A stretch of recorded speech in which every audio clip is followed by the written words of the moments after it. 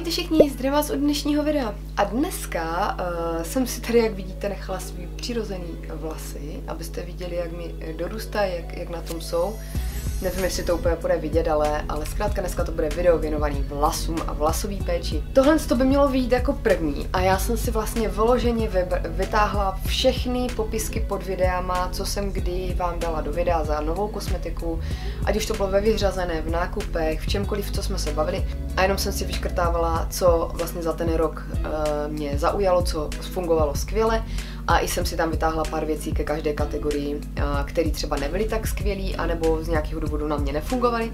Úplně na začátek tohohle videa by se ještě jako slušilo říct, jaký mám vlasy já, protože samozřejmě někdo z vás třeba na mě koukal úplně poprvé, tak abyste věděli, proč jsem zrovna tyhle výrobky, proč mě sedí, jaký mám ty vlasy. Mám je extrémně jemný, řídký a extrémně jsem si je zničila vlastně letos, kdy jsem si je uh, hodně odbarvovala a dělala na blond, takže teďka jsem v té uh, fázi regenerační a posilující a už to nechci vlastně nějak jako zatěžovat barvením, což vy víte, že já někde tady snad pocať už mám svoje přírodní vlasy, svoji barvu a tohle už jsem jenom doladila, aby to bylo stejný uh, barvama. Když je nezastříhávám pravidelně, vím, že měli tendenci se třepit, takže já to teď už opravdu i pravidelně zastříhávám, jenom co 6 týdnů mám upozornění v mobilu, a to je asi tak všechno eh, na úvod k mým vlasům. A já to nebudu nějak protahovat, rovnou eh, to budu brát prostě z vrchu, jak to tady mám naházený. Rozhodně jako první vám tady ukážu eh, micelární šampon Purifying od Nivea. Já už mám druhý balení, oni jsou velký, vydrží mega dlouho, stačí ho strašně málo a já je používám zásadně na předmytí vlasů než jdu na svůj, jako, ať už je to šampon pro pečování o vlasy, jakýkoliv potom už. Ale každopádně vždycky předmývám vlasy od všeho stylingu, od prachu, já nevím od všeho, co vás napadne. Takže uh, oni mají tady to normální až mastné vlasy, mám verzi, tu jsem si právě schválně kupovala v létě, protože byla taková strašně osvěžující. A pak jsem měla, myslím, že tu klasickou s modrým vrškem, nevím teď přesně. Oni mají víc druhů a rozhodně, pokud chcete něco fakt dobrýho na předmítí vlasů, aby byly takový jako fakt čistý a vrzavý. A hlavně potom, když si dáváte jakýkoliv váš oblíbený šampon, tak vám ho stačí strašně malinko, ale fakt strašně malinko a napění a je taková ta pěna z toho šamponu úžasná, promasírujte si celou pokožku hlavy raz, dva a funguje to pak líp, než když jedete dvakrát tím stejným šamponem. Prostě ten, uh, tenhle ten mě přijde úžasný na ten první krok. Tak, tady tohle to. Nevím ani, jestli jste to pořádně u mě viděli, ale je to úplně skvělé. Já jsem to koupila manželovi, protože on já mu stříhám vlasy vlastně, jakože mu to tady, on vždycky říká, ostříhej to šedý a nech zbytek, ale teď už to jako by má skoro všude, takže já mu stříhám takhle ty boky a zůstává mu jakože takový punk, strašně mu to sluší. A každopádně on musí na to mít takový, takový hodně tuhej gel, který mu to udrží pak takový jako rozcuchaný ty vlasy. On je má strašně tvrdý a hustý, takže mu to málo co udrží. No a funguje mu na to ten Strong Tuft, ten černý, myslím, nebo čer, červený. No a já jsem mu jednou koupila na notinu tohle, to je od Schwarzkopf a je to Ultra Strong Waterproof Gel. A tohle to říkal, že právě není špatný, ale tak dobrý, jak ten TAF to není, takže jsem si to dala do šuplíčku já a zjistila jsem, že to má úplně jeden skvělý účinek na vlasy, který já jsem z ničeho jiného zatím nedostala, a to Baby Hair. Prosím vás, tohle je nejlepší gel, který já jsem objevila na uh, to, když si děláte ponytail nebo culík, cokoliv, když vám jakkoliv lítají baby vlásky a víte, že já jich mám strašnou spoustu, ještě mi dorůstají kolem celé hlavy, já to mám jak ježek, takže tohle já si dám normálně na hřeben s takovýma jako kančíma štětinama nebo něco v jedné řadě, mám takový hřeben. On je jakoby tupírovací, ale já ho používám na tenhle účel. Nebo by to nebylo špatný, teď mě napadá třeba znát tu štětku, jak si nanášíte barvu na vlasy, tak třeba na konce toho to dát a vlastně tím uhladíte ty vlásky. Já to nedělám rukou, aby to nebylo takový olepen. Drží to celý den jak přibitý u hlavy, vůbec se neodchlípnou ty baby hair, což se vším jiným se jako postupně začaly odlítávat a ještě mají hrozný tvar. Nevypadá to mastně a pořád jsou, jsou ty vlasy jako jemný, hezký, jak umytý a prostě skvěle to funguje, je toho nekonečno, pokud to používáte jenom na ty baby hair. Tak to jsem vám tady musela ukázat, protože na to mi to funguje výborně. Prosím vás, mám tady vypíchlou celou řadu Else s keratinem, byla skvělá. Mám pocit, že ten šampon potom už byl na mě těžší, jak už se mi ty vlasy zregenerovaly ale pokud je máte suchý, namáhaný barvením čímkoliv, podle mě tady ta řada s tím keratinem je úplně výborná, ta Total Repair 5, 8% regenerační koncentrát s keratinem a hlavně se klade velký důraz na to používat právě tady ten bezoplachový kondicionér na vlasy do těch, eh, na závěr do těch konečků. A já to dělám vždycky, že jak vysuším ty vlasy tím ručníkem, tak to do toho dám a rozčísnu to takovým šetrným jako hřebenem na mokrý vlasy. A fungovalo to skvěle ta řada, tak jsem mi tady fakt chtěla zmínit ze, ze všech těch řad, já mám ráda i tu Dream Long Hair, ale tahle mi přijde prostě vyloženě taková pořádná jako regenerační a když to ještě předměte tímhle, jo, tak úplná paráda. Fakt si myslím, že, že to hodně těm vlasům pomohlo. Máme tady olejček, který jsem prostě musela vzít, protože nevím, jestli v péči o vlasy mě někdy něco vonilo víc než tohle. Tohle i kdybyste si to dali jenom jako, že chcete, aby vám ty vlasy nádherně vonily, pak vám z toho voní ruce a celý z toho voníte a celý den to hezky cítíte, jak to máte, a nebo na noc si to dát, nebo já tím ohlazuju konec vlasů, když mám culík, nebo takhle, když je mám třeba druhý, třetí den, tak ty konce, jak už jsou takový suší, tak tím jenom projedu a zase to pročišu klidně tím hřebínkem. No prostě je to přímo Soothing Hair Serum, arganový olej a tsubaki olej, já už jsem vám ukazovala, ale je to objev tohoto roku, takže ho tady dávám od Žaji a za mě úplně úžasně vonavý arganový olej a pokud jsem to už někde zmiňovala, myslím, že jo, tak jsem zase u nějaký kadeřnice na YouTube viděla, že pro ten arganový olej, jak má hodně drobný ty molekuly, tak má právě jediný nebo jeden z nejvíc těch olejů pravděpodobnost dostat se do těch poškozených vlasů a pěkně uhlazovat a regenerovat. Že jako ten arganový olej má výbornou tuhle tu schopnost a tohle zrovna tam je, takže za mě skvělý olejček na konečky. Podle mě nejlepší suchý šampon tohle roku, je toho důkazem, kolik jsem si jich jako koupila, abych to vzala od začátku. Tenhle je prostě úžasný z Wonder Woman, je to Batist, stojí já nevím, 120 korun. Není to úplně nejlevnější, ale mám pocit, že mě ani jako vydrží dlouho celkem a je fakt účinný a i na tmavých vlasech vypadá skvěle. Když se použije jak má, tak absolutně nenechává žádný bílý stopy. Někdy teda používám i tu metodu, že vlastně když mám čerstvě umytý hladký vlasy, tak si to rovnou do toho nastříkám a pak se zpomaluje ten proces toho, kdy se jako omastí ty vlasy. Že vydrží jako deal fresh, což mi přijde jako fajn tip. Ale chtěla jsem právě tady u toho i zmínit a už jsem si to sem do košíku nedala, že tento rok mě bavili i Balea, ty suchý šampony. Oni krásně voní, mají milion druhů a já jsem zrovna měla nějaký ten 4-8 v jednom, nevím, který, už jsem vám ho ukazovala ve spotřebováno a zkrátka ty balea mi nepřijdou vůbec špatný a jsou za půlku ceny těch batist, takže tam to záleží fakt na tom, jak často to používáte, kolik do toho jste uh, ochotní a schopní investovat, ale balea má fakt levný a podle mě i dostatečně za tu cenu účinný. No ale tady ten batist prostě byl nejlepší tento rok. Mám tady balzám na vlasy, který jsem teďka používala nějakou dobu pravidelně. Olaplex number 5, je to Bond Maintainer Conditioner. Uh, jde o to, že to vlastně, já se nevyznám v Olaplexu, jakoby, jak mají ty stupně 3, 4, 5. Nevím, budu si o tom muset něco nastudovat a udělám to, ale teď to prostě nevím. Každopádně má um, opravovat vlasy, spevňovat, vyživovat um, a je to hlavně na ty konce a máte to nechat, pokud se nepletu, já to nechávám jo 3 minuty já to někdy dělám i tak, že si to dám do těch vlasů, sepnu nahoru sponkou, zabalím jakoby do trička, aby mi nekapala všude voda, pak si čistím zuby, udělám si pleť a pak to teprve spláchnu a dám šampon. Takže uh, zkrátka záleží, jak mám čas. Někdy to použiju jakoby i jako masku, někdy jenom jako ten 3 minutový kondicionér a každopádně to má vyloženě jako vyplňovat a splňovat to poškozený vlasový vlákno, což já tady ještě konce pořád budu mít vlastně ty uh, následky potom odbarvování. což je prostě normální, když jsem tak zblbla a zase jsem to chtěla mít blond a já jsem si tu blond tehdy užila, ale už bych se k tomu nevrátila jenom kvůli tomu, že si už nechci ničit ty vlasy. Takže Olaplex number 5, uh, já nevím, jestli jsem to měla z Notina, fakt už nevím, mrkněte, to bude všude, nebo z nějakého možná přímo vlasového e-shopu. Každopádně ho stačí strašně maličko, úplně fakt jako hrášek, větší hrášek, dva hrášky vám stačí, pokud máte jemný a málo vlasů jak já na konečky ale fakt malinko toho stačí a je to obrovská, obrovské množství, úplně nevypotřebovatelný, takže za mě i jakoby ta cena nebyla vlastně vůbec špatná. A mám tady dvě věci, obě jsou teda od L'Oreal, jedno je Professional, jedno koupíte normálně v drogerce, já vám to takhle ukážu. A jsou to obě věci jakoby Heat Protector, já celkem nevěřím moc těm lehkým sprejkům do vlasu, těm zbalejí, ty levný a tak. Já neříkám, že nefungují, možná fungují, ale pokud už máte trochu poškozený ty vlasy, jak bych asi dala bacha, dala tam něco jako, co to jako fakt tu technologii nějakou v sobě má. A tady to je třeba do těch 230 stupňů a tohle taky do 230 stupňů.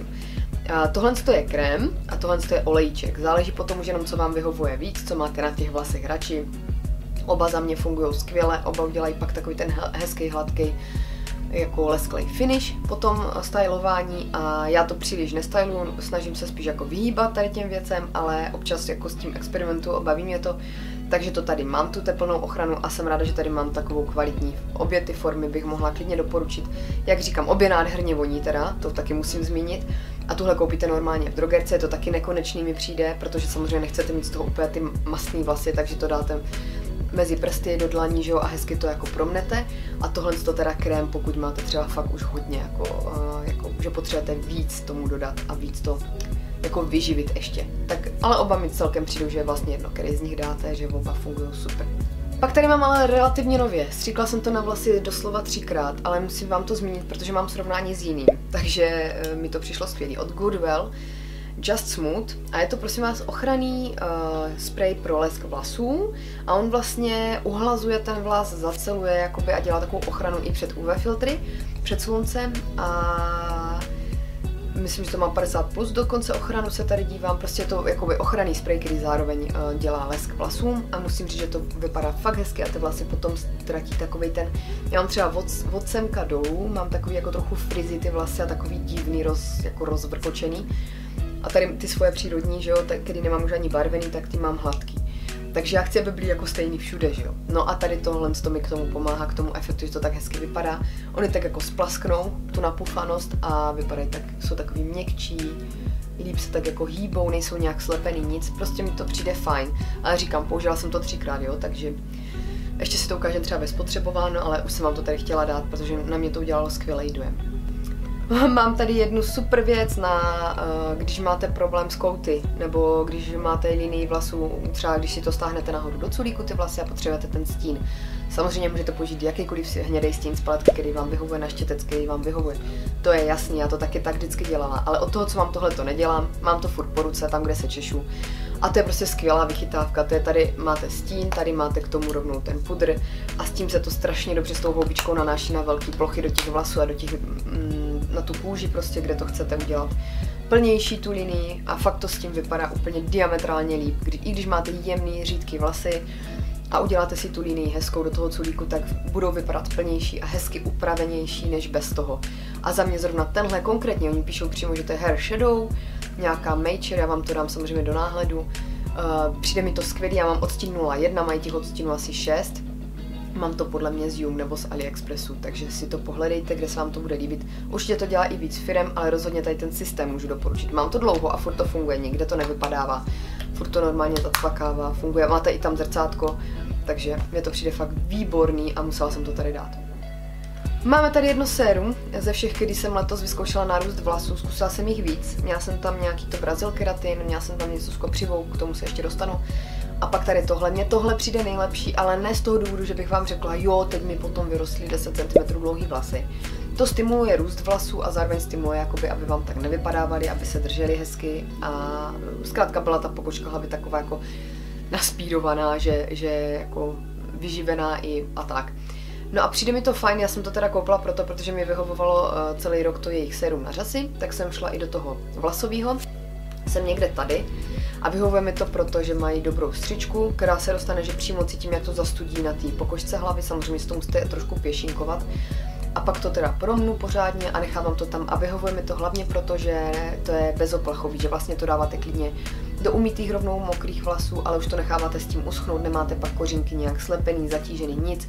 Nemá to žádnou nějakou nepříjemnou parfemaci, takže vůbec to nevadí, necítím to a zkrátka mi vyhovuje ta aplikace a to používání. Zatím vám jako nejsem ale schopná říct, že by to nějak úplně stimulovalo růst vlasů, ale myslím si, že jako podpora, pokud máte fakt jako jemný a hodně po porodech vypadaný jako já ty vlasy, tak eh, jako navíc podpora mi tohle přijde prostě fajn, ale neříkám, že musíte mít konkrétně tenhle. Tak a ještě tady mám novinku relativně od L'Orealu. Eh, koupila jsem si ji v DMku. Teď už ji mají všude, jsem se dívala na těch e-shopech. Já jsem ji kupovala v DMku s plínama a tohle jsem musela mít, protože to je laminační voda. A ona vlastně má zatahovat nakonec, když si umyjete vlasy, tak zatahuje zase to vlasový vlákno, tak nějak jako obalí, olaminuje, aby bylo jako hladčí, jemnější ty vlasy, nebyly třeba roztřepený a za- zachraňuje to vlastně konce vlasů, je to pro dlouhé a poškozené vlasy.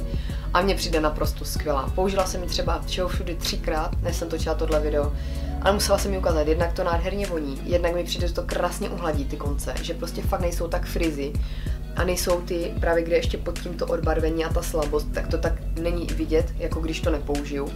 A určitě je to kombinace i víc těch produktů samozřejmě. Ale musela jsem to tady ukázat, protože mi to přijde skvělý. Nepřišlo mi to v PR balíčku a kdyby mi to přišlo, tak si to nechám do zásoby, protože je to prostě dobrý.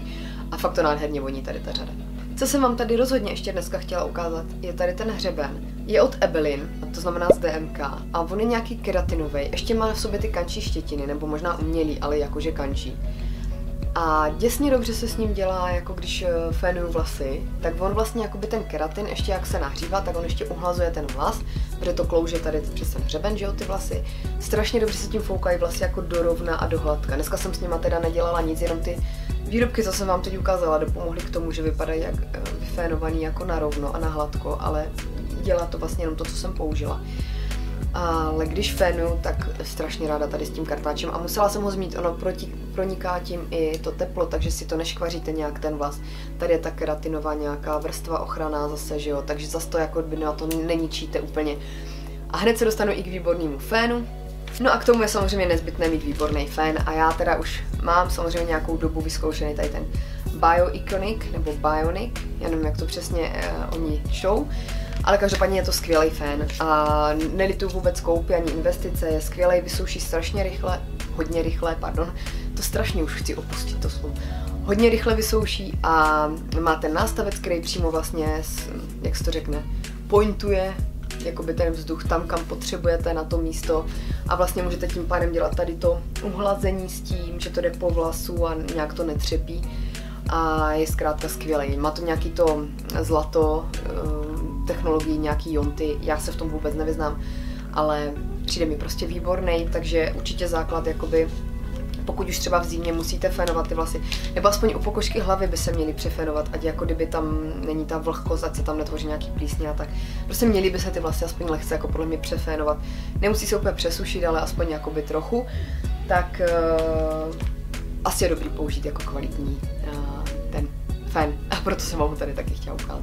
A úplně na závěr videa ještě vám chci ukázat jeden můj objev tohoto roku protože jsem ho letos koupila, dokonce v akci. Je to, jsou to Remington, jo, Remington natáčky, nahřívací, elektrický.